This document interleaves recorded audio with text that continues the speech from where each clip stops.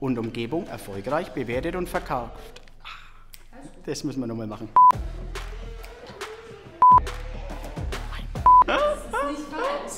Was macht er? Der sich in einem Bereich besonders, besonders gut auskennt, anstatt einen Alleskönner. Der sich in einem Bereich besonders gut auskennt, anstatt eine... Noch einmal bitte. Das ist total mein Lieblingswort.